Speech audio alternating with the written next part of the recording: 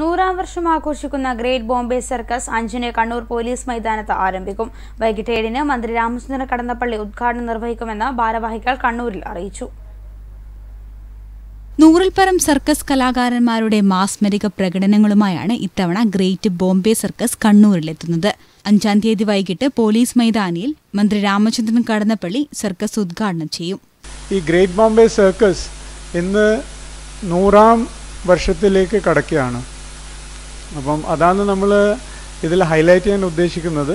ഇതിന്റെ ഭാഗമായിട്ട് ഈ പ്രാവശ്യം പത്ത് ഇത്യോപ്യൻ കലാകാരന്മാരെയാണ് കൊണ്ടുവന്നിട്ടുള്ളത്. പത്ത് ഇത്യോപ്യൻ കലാകാരന്മാരോടൊപ്പം ഓഫ് കോഴ്സ് പുതിയ പത്ത് ഇനങ്ങളുണ്ട്. അവർ ഇതുവരെയും അവതരിപ്പിക്കാത്ത കുറച്ച് ആക്രോബാറ്റിക് ഐറ്റംസാണ് ഈ പ്രാവശ്യത്തെ പ്രധാന ഹൈലൈറ്റ് ചൈനീസ് ഇന്ത്യൻ എത്യോപ്യൻ കലാകാരന്മാരുടെ മാസ്മരിക പ്രകടനങ്ങൾക്കൊപ്പം റഷ്യൻ ബാലെ സംഗീതത്തിന്റെ മാസ്മരികതയും ഉണ്ടാകും നൂറ് മുതൽ മുന്നൂറ് വരെയാണ് ടിക്കറ്റ് നിരക്കുകൾ.